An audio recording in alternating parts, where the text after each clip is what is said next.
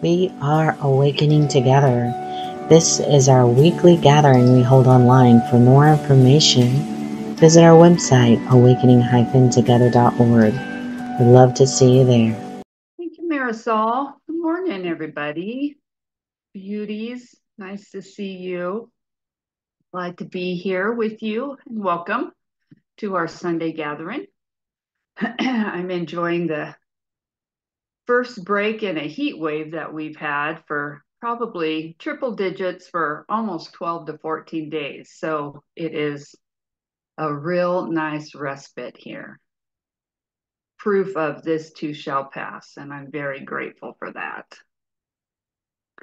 So we are going to go ahead and um, have our opening song played, and everybody gets a chance to greet each other on the chat board. So Marisol, if you want to play our opener, that'd be awesome. I'm going to go ahead and read our um, statement of purpose and a core value. this is our statement of purpose. We are an assembly of equals, joined in common purpose, awakening to one true self. Within an appearance of many faiths, many cultures, and many symbols, we seek to discern one truth and to rest in its embrace. And then um, we're always asked to um, pick a core value that we feel is kind of highlighted. And it was, and I picked um, core value number one, not necessarily about because of the topic that I chose or even the content of the topic, but I was just feeling at the time when this was coming about how this just explains my incredible gratitude towards awakening together. And I just, I, I just felt that that's the one I wanted to highlight that we trust everyone is led by unique inner guidance to one experience called awakening, which is realization of one true self. And we live this value by supporting one another on different paths to awakening. And it just really struck me as I was, you know, preparing for a homily. There's just kind of a lot of steps that we go through. And and I just recognized what an incredible gift it is to have this process um, where each of us is kind of getting these little prompts as to, you know, what we're going to share, what the message is going to be and it seems real personal at the time. And yet by the time i go through that process and discover that it really is something that i needed to hear and that when i share it everybody says oh that was perfect. That's just what i needed. And it just really reminds me that this is just one journey. Um, and we just support each other and it's and it's a beautiful thing so I'm just really grateful for that um, today. So that's why I chose it. And now we're going to go to announcements. And I believe I am inviting Sammy to make our first announcement this morning. Sammy, it's all yours. Very good. Then we are going to move in to our opening song. Um, our opening song is John Mayer's Gravity. It's him performing live. I I love John Mayer and I I love watching someone play a guitar when it just kind of looks like they're channeling stuff, you know? It's just like they're just this open and they just allow the music to come through them. I just I love watching that. So he's a good example of that. And then also that what this song represents for me is not just the idea of gravity, but it's the idea of that pull, that um, that pull of resistance, the pull of the conditioning, the pull of the habits, all that kind of stuff.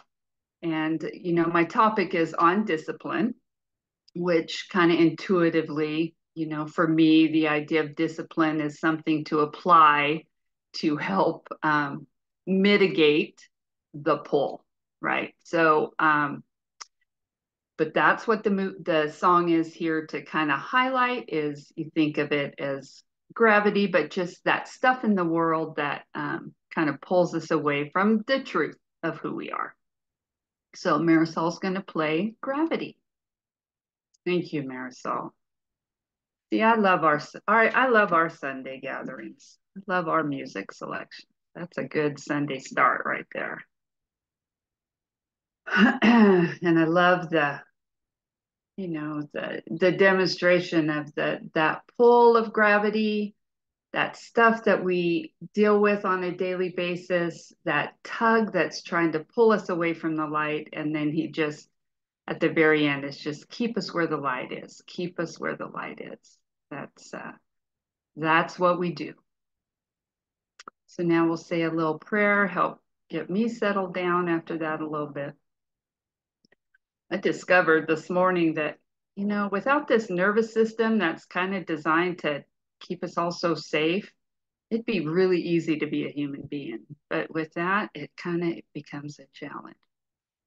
So let's say a prayer, settle me down. Mm. Dear Father, I thank you. I thank you for awakening. Thank you for this process of healing that we have all invited and we all agreed to. May we be gifted with the grace and the discernment to open up to the guidance we each need during this time together. Use me as needed. I just desire to be helpful, to be present, to be a vehicle for your message, for your healing, and for your love. Thank you, and so it is. Amen.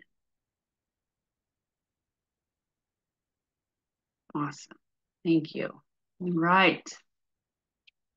Our reading today is um, from the teachings of Ramana. It is um, the love of discipline. And my dear friend Laura Joy is going to read for us. And we just, her and I discussed yesterday that it's a short reading. And so we just kind of wanted to do it meditatively. So she's going to read it um, two times for us. We're going to go through it um, and just everybody just kind of soak in this beautiful stuff. And um, when I discovered that this was going to be the topic, I knew automatically what the reading was going to be. And I didn't go read it. So um, I've read it many times, but I didn't to prepare. So it's going to be um, kind of fresh and new for me. So once that's done, then we're just going to kind of unpack it and we can all kind of do that together. So Laura, thank you so much for joining us and reading for us. And um, once again, it starts on page 69 if you have Inner Ramana. Thank you. Thanks, Kelly. Hey, everybody. The love of discipline. Today, I will talk about discipline. Discipline is a dirty word to the mind. It screams, lack of freedom, control, and extends ideas of being forced to do things you do not really want to do. But I ask you to look at the idea of discipline, quote unquote, again and ask who is the I that has these ideas? Who is the I that feels beaten down by the idea of discipline. Right now, it is as if two eyes live within you. It is time we begin to look at these two eyes now. One eye is the false thought, the false idea of who you are. The other I is best described now as your true heart. One reason for learning the difference between these two eyes is so that you can learn to distinguish the difference between the I that speaks for what you want and the I that sounds like you, but in truth, it is an impostor. Let's look again at the idea of discipline. I have told you that discipline means consistency. You know that you want the consistent experience of God without end and without distraction. And you also know that another, that the consistent practice brings this experience. So you see, you love it. You are grateful for it. You want with your whole heart to embrace it. Mm. It is the false I that wants to throw this idea away. It is the false I that resists and tells you that you hate discipline. This is why it is helpful to question the false I thought that poses as you. This thought is literally an obstacle to the experience of self. This false identification is everything that stands in the way of you knowing you. And if you continue to listen to it and continue to believe it, as if its statements are your thoughts, then you continue to miss out on the experience of your truth. The I thought must be questioned, and it must be seen that this thought isn't you. Let's talk about the love of discipline. Discipline is like a roadway lined with beautiful flowers, and trees, and green pastures to a destination that is literally more beautiful than your imagination. Who wouldn't want to take this road? And as they travel, embrace every moment of the beautiful and amazing journey. This is discipline. It is consistently applying your devotion. It is lovingly loving your love. It is giving yourself exactly what you want. Questioning the I thought that disagrees with discipline is like checking the map to make sure you don't leave this lovely road for a dry and dusty and bumpy one that heads off into the desert, away from the lusciousness of your love. Follow your heart is more than just a saying. When you can hear your true heart calling, following your heart is literally following a beacon home. And it will lead you there straight away if you remember that the beacon and the true eye are one. Starting again. Deep breath. The love of discipline. Today, I will talk about discipline Discipline is a dirty word to the mind.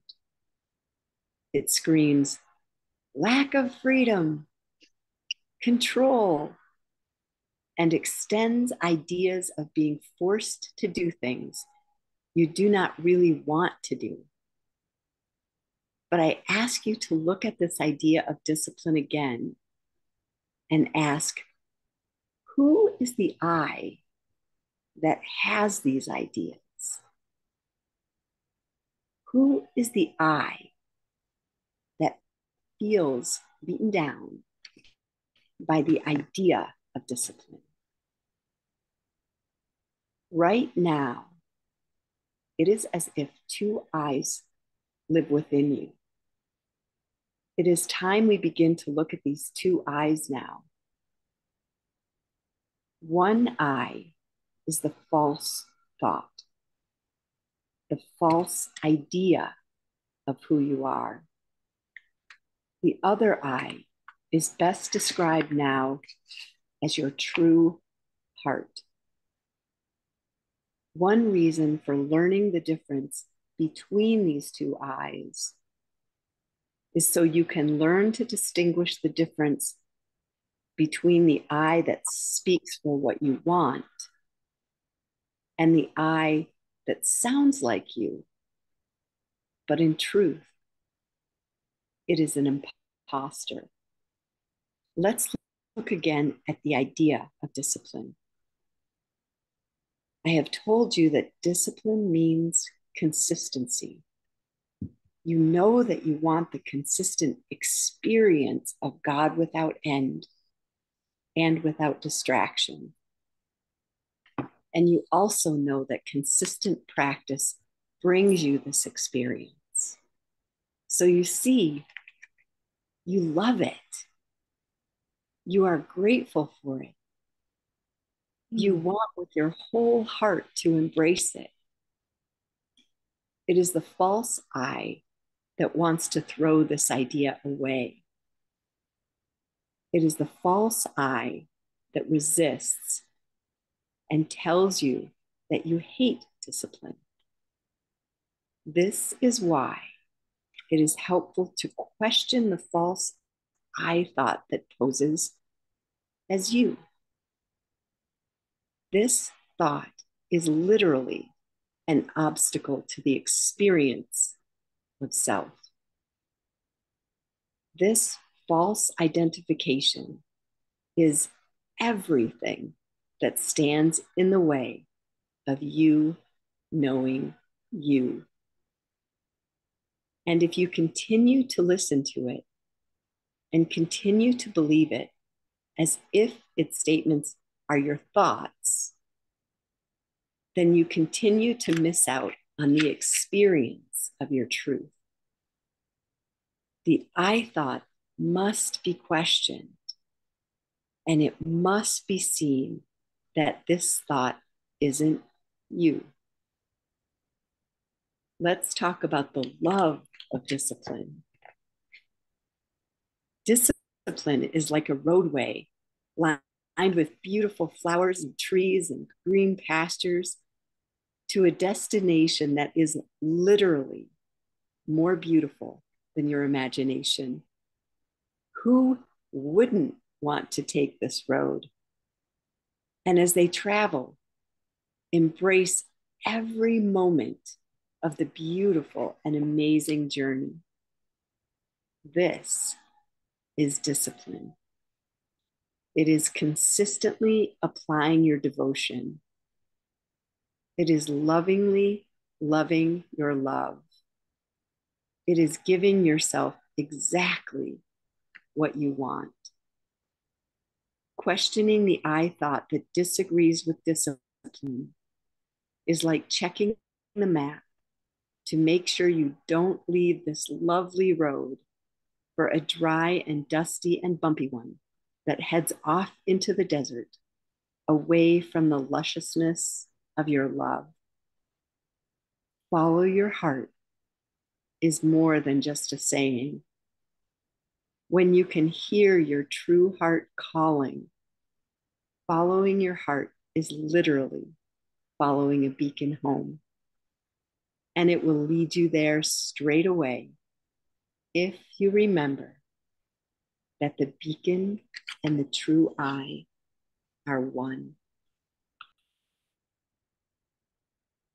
Thank you so much, Laura Joy. Appreciate it very, very much. It was beautiful calming, lovely. so there we have it. And, you know, I, I said it all. It always does. And then I get to just, I don't know exactly what.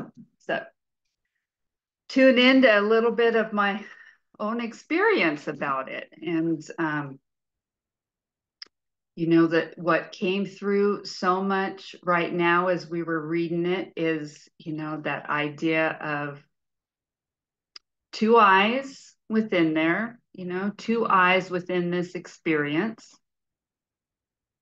And they are opposed in um, only what they want. And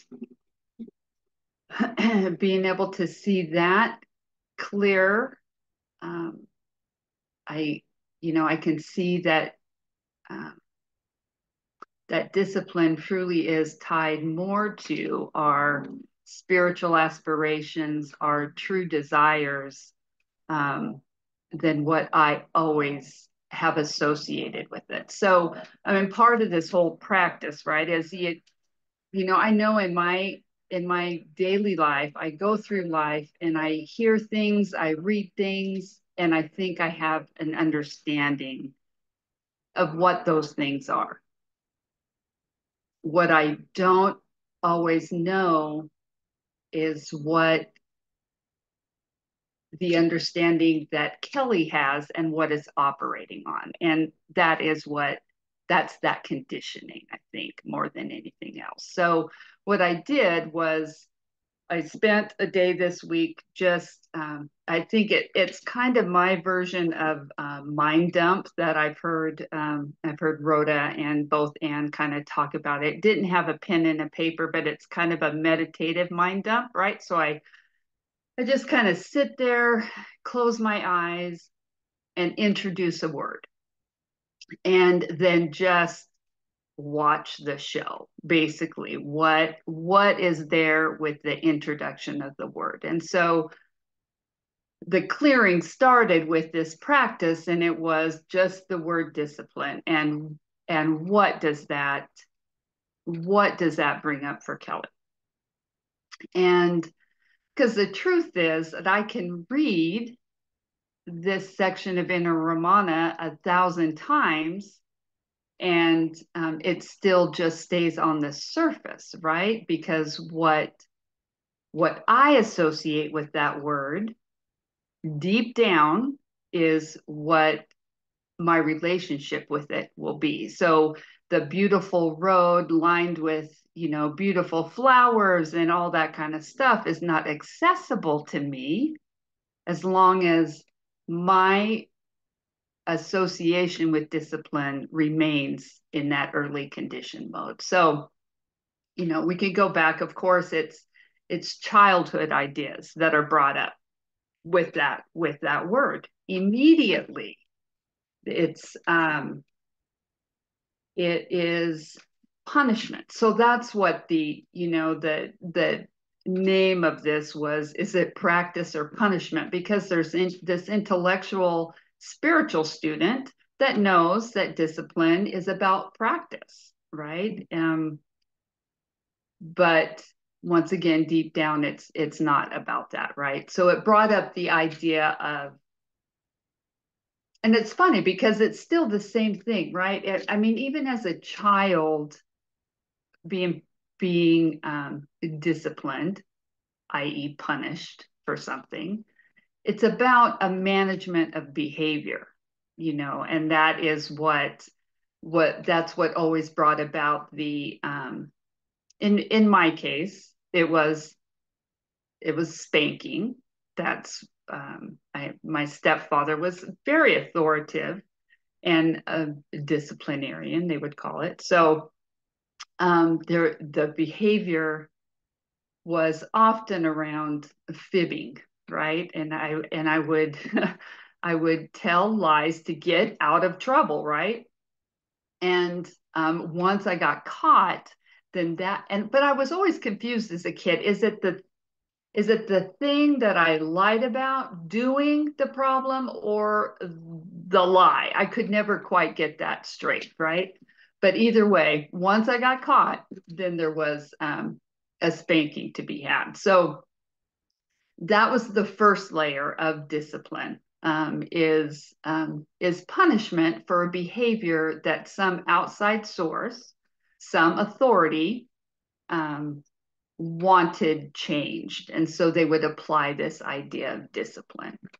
So that was the first level. And then later on, as an as an adolescent and becoming an athlete, um, then it was having this quote discipline um, to go through these grueling workouts, right? And um, and I had some coaches that were um, I I believe lacked complete any compassion whatsoever, right? And so once again, it was this, you know, to try and take a chunky teenager um, and turn her into a lean basketball player. I mean, once again, it was this outside authority that was trying to um, control and manage the behavior to get it to a goal that they wanted. and um, that would, you know, bring up just this incredible rebellion for sure.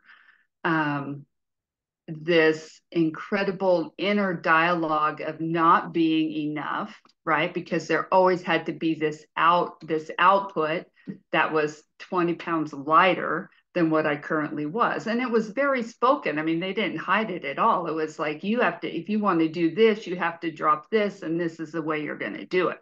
And so the, the diet was modified significantly. And, um, the so the calorie intake was changed and the level of my amount of energy was you know increased in having to do that so once again it was that external thing and it wasn't until um, a couple things happened. One was when I got into recovery, I read um, I Grist for the Mill, Ram Dass. And there was a statement that he made in there that was the first time this external thing ever got rearranged for me. And he, and it was simple. He was talking about the discipline of practice right? So it was the first time i kind of equated oh discipline is not this action taking place from an external source trying to manage um, my behavior this is a practice, discipline as a practice. Like he equated it to a martial art, right? So you're just learning something new. And that was the first time I'd ever went, oh my God, it's got this whole different meaning than what it was for me. Um, and he said something beautiful in there uh, that has never left me. And I'm paraphrasing a little bit, but I'm pretty sure that the, the content is true. Um, he was talking about the the practice of meditation and sitting, um, sitting meditation in specifics, and you know he talked that we go through these periods where we think we still think that the the um, the request for discipline is being asked by the guru or the teacher or whatever um, but then we eventually come to the place where we see clearly that it is something that is um, demanded of us. Demanded is a strong word, but he, that's the one he used, but I understood the content. Demanded of us by us. And finally, for the first time, there is nothing external that is applying the pressure that says you need to do this in order to conform to something. It finally sat with me that, oh, this is something I do because it's something I want for myself. And that makes all the difference.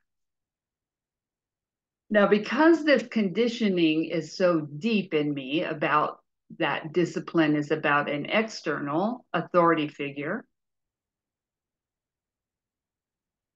telling me that I need to do something, and this incredible need still in the conditioning for approval. says, Oh, I will do this for the approval, it still gets hijacked from time to time, even with spiritual practice. So, um, you know, I, my relationship with meditation has always been a challenge. because somewhere in my mind, I, you know, I, I've heard it recommended, right? 20 minutes a day. So it's a recommendation, it's a suggestion. And in my mind, it gets turned around to it's a it's it's demanded of me by some external, you know, teacher, authority, even in spiritual land. And so that is what I need to do. So it still has that tendency to get kind of twisted for me. Um, but it is finally landing for me once again that this is what I want. And it and it's that simple that what I want is um, my current spiritual affirmation is and aspiration is um, wanting to heal the mind and remember God. And that's the most simple way I can put it. I want to remember who I am in as many moments during the course of a day as I can. Right? Moment to moment. Remember that uh, the essence of who I am is love, that the essence of who I am is joy, that there is peace, um, that there is safety amidst um, a very crazy world that I'm here for a time and um, that it's not my home. But I'm here for a time because ultimately I wanted the experience of doing this. That's the ultimate truth. And so, um, but if I have any choice in the matter as to what that experience is going to be, it seems um, that it would be wise to apply the tools, the um, practices um, to cultivate that particular experience. I was reminded about um, a passage in Way of the Heart that I want to read because it does help help me in this idea of what I want, right? So if if discipline so we we separate we move it from the um, external source the authoritative figure applying discipline um, to modify behavior for a particular outcome and that switches to this sense of not, as Adyashanti talks about, not uh, abdicating your authority to some external person, right? That it it comes back um, within us, as Ram Dass said, it's um, demanded of me by me, a spiritual practice of some kind, whether that be journaling, whether that be some time in meditation, whether that be um, making sure that I read and listen to some truth um, first thing in the morning. That's currently what my my practice is is um, first to read truth because I don't my default when I awaken in the morning. I'm not listening to truth. I mean the the firing off the normal awakening music in my mind is um, is not filled with truth. So I have to consciously make that decision. Let's get some truth in there. Once I do that a little bit, maybe a little bit of my own kind of mind dump, getting that cleared out. And then then I can actually sit and do some meditation. Um, So once again, I'm I'm applying a practice in order to um, ultimately modify my own behavior, right? The own actions that I take, um, not some external to do that. So we are going to, I'm going to read just a little bit about, I do have time. Um, yeah, I'm just going to read it. This is from Way of the Heart. It's lesson two. You create your own experience. It's on page 19. It's going to talk a little bit about desire, basically, and what we want. Um, but it talks about some of these obligations we feel we have. It goes back to the idea of having the two eyes um, and they are opposed in what it is they each want, right? And so um, it says you need to take the words like ought, should, must, and have to, and write them on a piece of paper. Look at them, then light a match and light the corner of the paper and let the paper burn and dissolve to dust. It is a symbol of allowing the energy that you have given those words to become again as the dust or the ash of the ground. Clear from your consciousness all identification with such words, for all of them are denials of reality. And in my practice, discipline was one of the words that I had written on that. Many times I have shared with you that you need do nothing. Listen to those words and take them into yourself as though they are your own voice, because they are. I need do nothing. You do not have to survive. Whoever told you that you had to? You do not have to make everybody happy. Whoever told you that you had to? Whoever told you that you could make anybody happy? You do not have to abide as a body in space and time. Whoever told you that you had to? You do not have to pay your bills. Who told you that? You literally need do nothing. It is quite different than wanting or choosing to do something. There's something about that that I, there's something about desire in there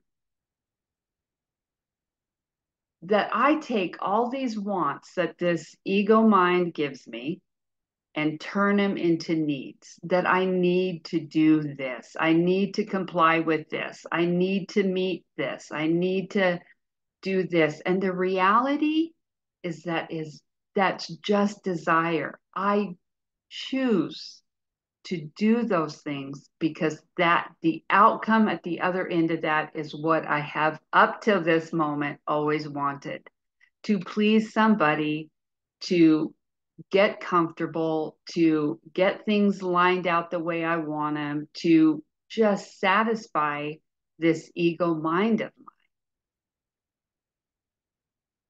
and I dis- and the ego is great about disguising that as a need and it is not and I think I'm finally starting to see that that it is a want. Discipline is about using tools gifts actually. It's not about anything from the outside forced upon me. It's about these open handed gifts, these tools, and they are not designed for me to ever beat myself up with them. They were never designed for that. It is this I that hijacks all that that has done that. Um, so I remember when I when I first got into recovery, and I one of our first tools was um, writing inventory, right? So it, I mean, and it's just it's journaling. It is, um, it at times it can certainly be self inquiry. It is kind of drilling down to root causes of the pain and the suffering in our life. And I can remember going through that process because it was all it basically everything started out with what is it that you want? And we would start from there. And then it would be okay, so you say you want this, how are you going about getting it? And um, it could you could just really drill down into things. And then is it getting you what you wanted what you set out to get in the first place right? And you can really see the distance between those two things. And so i saw all this chaos that i had created in my life seemingly and um and and recognizing that truly what i was after when i whenever i wrote anything whether it be about a resentment or a fear or some trouble I got into or whatever.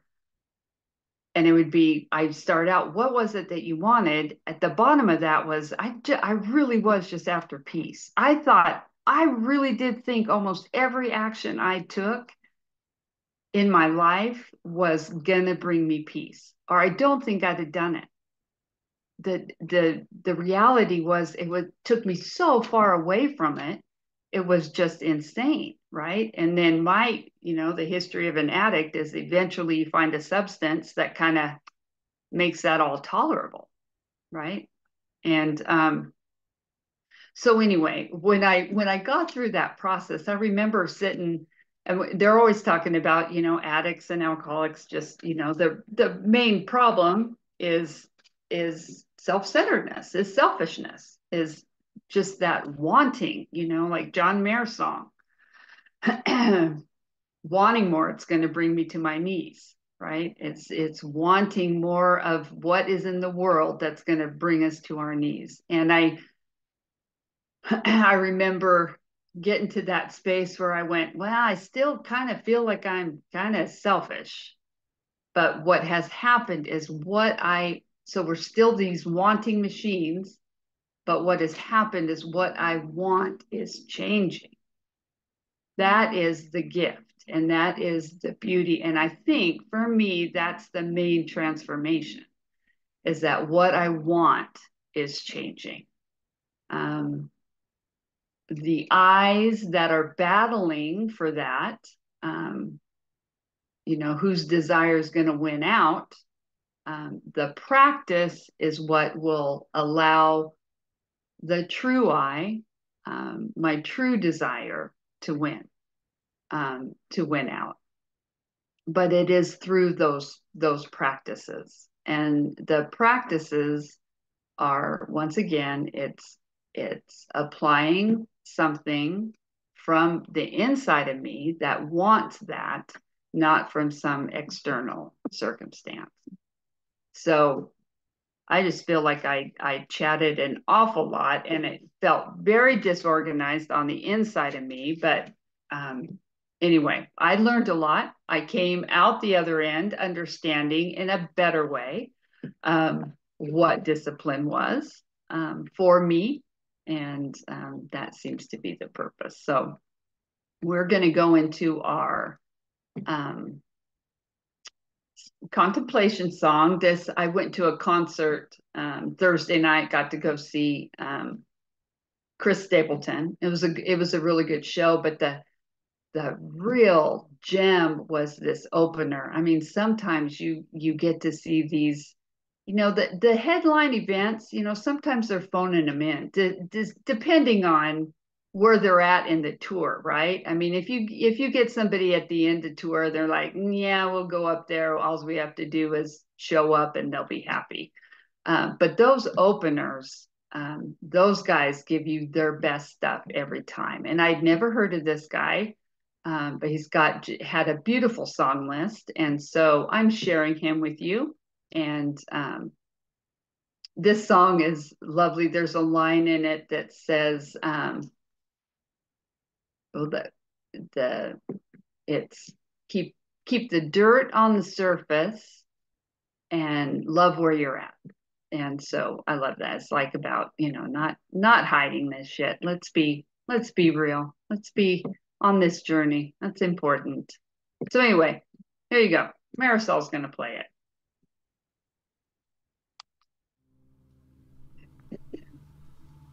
Beautiful. Love where you're at, wherever that might be. It's exactly where you're supposed to be.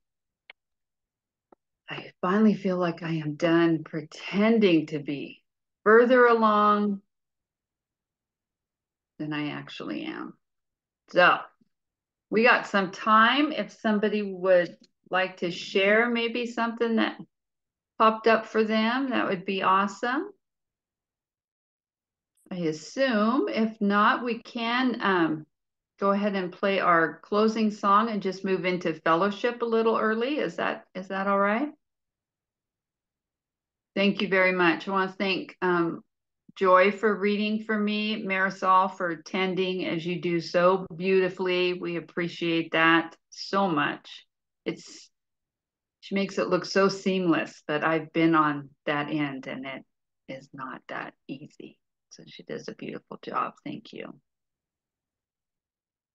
That is so beautiful. All right. that concludes our time together here, and we will move right into fellowship. So if you can stay and join us, that would be great. You've been watching our online gathering. It happens weekly on Sundays at 10:15 a.m. Eastern Time. To join us live in the sanctuary, visit our website awakening-together.org. You'll want to click on online sanctuary in the main menu and then in the drop-down menu look for how to enter the sanctuary. Right there at the top of the page is a clickable link. We'd love to see you in the sanctuary and join with you in fellowship. Thank you again for watching. Also, please know that if you'd like to stay connected via the Awakening Together channel here on YouTube, you can subscribe and hit the bell for more notifications. We hope to see you in the sanctuary.